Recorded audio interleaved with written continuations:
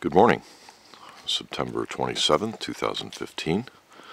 I'm here at the Red House Picnic Pavilion here, which is uh, available for occasions, reservable.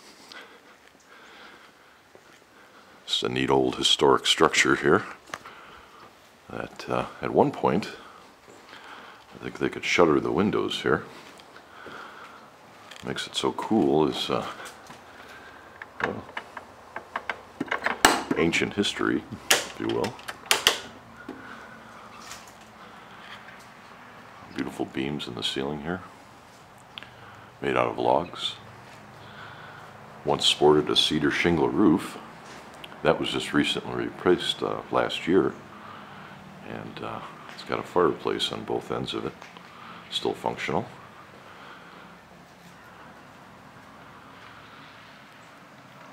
A lot of people uh, get married here on the stone pier, just outside of the doors here. I put up large tents and utilize this facility for its electricity, things of that nature. And it's got a nice little creek right here, right outside of its doors for the kids to play in.